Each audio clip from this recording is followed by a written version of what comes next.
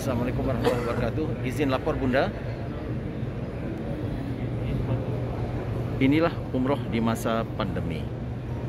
Suasana Masjidil Haram pada hari Sabtu tanggal 5 Maret 2002 di mana kerajaan Saudi sudah menormalisasi umroh.